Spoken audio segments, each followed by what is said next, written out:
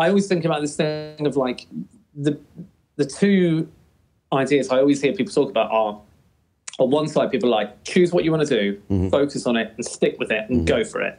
And other people on the other side, completely other side of the coin, are like always be open to doing different things, and make sure always have your finger in different pies, and just you know smorgasbord and take little bits of this, little bits of that. I mean, those two things are completely at odds with each Yeah. other. And I still, you know, as far into my career as I am, I still don't know which one holds the most credence, really. I mean, they, they're both really viable things, but that's one that I, I think about a lot because you see people who've been really successful mm-hmm. who have who have chosen their the place they're going to aim for and they've just gone for it mm-hmm. and they've been really successful. Then you also see people who've they they you know they they do a bit of arranging or a bit of you know engineering or Yeah. a bit of DJing and a bit of performing and they've had a great career as well. So it's that's the one thing that I I, I would say it's like there does this it's very hard to say any hard and fast rules. It's just like chat to different people and people find their own route through, don't they? I think. Oh, absolutely. And it's really interesting you say that because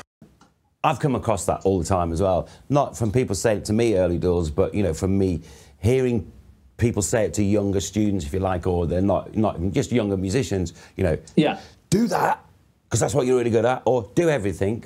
But I think the thing that you know oscillates between these two sort of boundaries of you know left and right or whatever it is, some like Yeah. structuralist sort of confines of the world is it's the motivation to do either. You know, if you go on that Right. path, it's to keep that fearlessness, I think, or to yeah, I'm going to be fearless and try all of these, these things. You know, Yeah. yeah, I will. I will do some engineering. I may never have done some before. I'm going to learn how to do it. Yeah, of course I'll do a remix. Yes, of course I'll do a DJ night. You know, all Yeah. those sort of things. It's that Yeah. motivation and fearlessness, I think.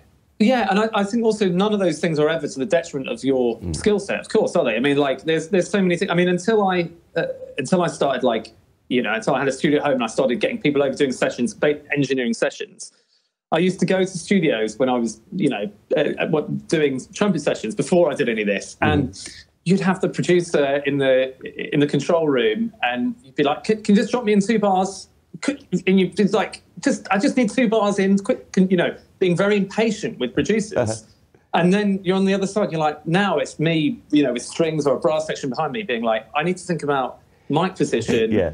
uh, saving the parts correctly, labeling the parts correctly, comping as we go, making sure everyone's playing the right notes. Uh, and there's so much to think about. And I think that's just one example of how, when you look at a different uh, technique of, of music or a different strand of music, it informs your approach to another one. So none of those things are ever going to be detrimental. Like you say, like we talked about the, the reading music thing at the beginning, you can definitely get into music without, but and there's it shouldn't inhibit you from playing music if you can't read music, but it's also not going to hurt your No. musicianship to know what's going on